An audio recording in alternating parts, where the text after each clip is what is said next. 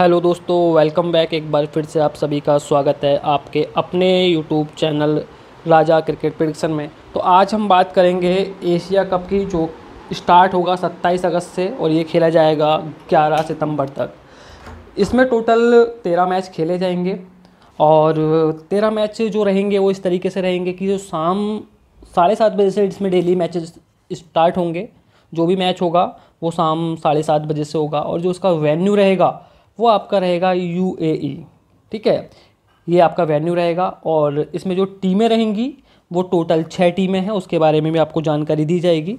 तो सबसे ज़रूरी चीज़, आप देखिए कि आपकी स्क्रीन पर है हमारा WhatsApp number eight four four seven nine three five three nine seven चौरासी सैंतालीस तिरानवे तिरपन सत्तानवे, इसको नोट कर लो। और हमें टेलीग्राम को आप ज्वाइन करना चाहते हो तो लिंक आपको वीडियो के डिस्क्रिप्शन में मिल जाएगा। और हमारे यहाँ जो आपको प्रोडिक्शन मिलती है, वो मिलती है आपको winner team team winning chances और ड्रीम इलेवन टीम तो किसी भी भाई को अगर ज्वाइन करने में दिक्कत आ रही है लिंक ओपन नहीं हो रहा है टेलीग्राम का तो डायरेक्टली आप हमें व्हाट्सअप पर भी मैसेज करके टेलीग्राम का लिंक ले सकते हो। वहाँ से भी आपको टेलीग्राम पर ज्वाइन करवा दिया जाएगा। तो चलिए बात करते हैं एशिया कप के एक बार टोटल ग्रुप्स की, कि कितने ग्रुप्स हैं, कैसे कैसे टीमें बनाई गई हैं। तो सबसे पहले तो टीम के बारे में जान लीजिए। टोटल इसमें छः टीम है। पहली टीम इंडिया पाकिस्तान हांगकॉन्ग ठीक है, श्रीलंका, अफ़गानिस्तान, बांग्लादेश, ठीक है, ये टोटल छः टीमें हैं और इसमें दो ग्रुप बनाए गए हैं। दो ग्रुप बनाए गए हैं। पहला जो ग्रुप है ग्रुप ए जो आपको नीचे दिखाई दे रहा है, इसमें India Bangladesh sorry India Pakistan और हांगकॉन्ग ये टीम डाली गई हैं। जो ग्रुप बी है, वो आपका है श्रीलंका, अफ़गानिस्तान, बांग्लादेश, ठीक है तो ये टोटल छः टीमें हैं, दो ग्रुप रखे गए हैं इसके। Group A, group B. दूसरी चीज़, अभी मैं आपको एक हिंट दे देता हूँ यहीं पर। ग्रुप बी में जो भी मैचेस होंगे ना, वो पंटर को थोड़ा सपोर्ट करने वाले होंगे और बहुत अच्छे मैच होंगे ग्रुप बी के। क्योंकि इसमें टीमें श्रीलंका, अफ़गानिस्तान और बांग्लादेश। तीनों ही समथिंग समथिंग एक जैसी टीम है। दस, बीस मतलब उन्नीस, बीस का अंतर है। और सबसे ज़रूरी वेन्यू की बात करते हैं। देखो वेन्यू और पिच रिपोर्ट तो वेन्यू में आपको बता देता हूँ, जैसे कि आपको पता है यूएई में हमारा ये हो रहा है एशिया कप तो दो ग्राउंड में खेला जाएगा ये। पहला दुबई इंटरनेशनल क्रिकेट स्टेडियम दूसरा है शारजहाँ क्रिकेट स्टेडियम अब दोनों की थोड़ी अलग अलग पिच की रिपोर्ट रहती है। दुबई इंटरनेशनल क्रिकेट स्टेडियम है, ये एक बड़ा ग्राउंड है। बड़ा ग्राउंड है तो यहाँ पर ऑब्वियसली 20 ओवर में 160 70 रन भी एक अच्छा स्कोर माना जाता है। दूसरी तरफ़ शाहजहाँ का जो ग्राउंड है वो छोटा है बैटिंग को सपोर्ट करता है। यहाँ पर 160 70 रन छोटा स्कोर माना जाता है, जो आराम से चेजेबल होता है। बाकी पिच पर डिपेंड करता है कि पिच किस तरीके से खेल रही है, वो पता चलता है मैच के टाइम पर। ठीक है तो ये मैंने आपको जानकारी दे दी। और आगे आप देख लीजिए एक बार टीम के बारे में, फिर से रिपीट कर देता हूँ। जो टोटल टीम है, वो टीम छः है, India, Pakistan, Sri Lanka, Bangladesh, Afghanistan Hong Kong ये हमारे एशिया की टीमें हैं जो क्रिकेट खेलती हैं। इसको ही इसलिए एशिया कप कहते हैं, बाहर की कोई टीम नहीं है। अब आगे चलते हैं। आगे चलने के बाद देखो, सबसे ज़रूरी चीज़ जो मैं इस वीडियो में बताने वाला हूँ, वो ये कि भाई, वो की टीम क्या है? ठीक है? और आगे बताऊँगा आपको कि पंटर टीम क्या है।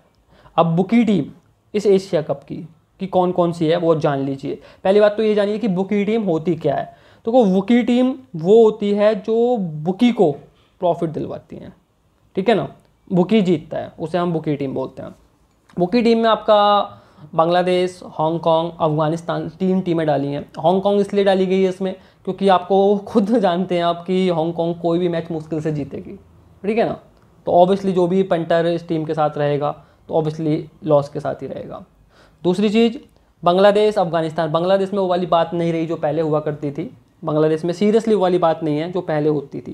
क्योंकि बहुत सारी चीज़ें चेंज हुई हैं बांग्लादेश की।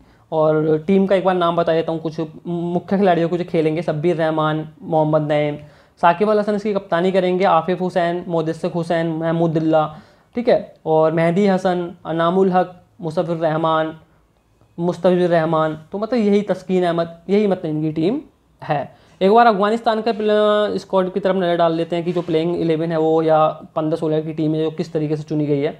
नजीबुल्ला जार्डन हैं और साहिदी हैं और हजरतुल्ला जजई हैं। ठीक है, मोहम्मद नबी कप्तान बनाए गए हैं, जो बहुत अनफॉर्म चल रहे हैं। उम्मीद करते हैं कि फॉर्म में आ जाएँ। रहमतुल्ला गुरराज हैं, जो अच्छे बल्लेबाज हैं। करीम जायनात हैं, मुजीबर रहमान हैं, नूर अहमद हैं, राशिद खान हैं नबीन हक हैं। तो ये टीम भी एक एवरेजी टीम है। मुझे लगता नहीं कि बहुत ज़्यादा अच्छा प्रदर्शन करेगी इसलिए इसको भी वुकी टीम की कैटेगरी में डाला गया है। अब आगे चलते हैं बांग्लादेश की हाँ, आगे चलते हैं पंटर टीम की तरफ़।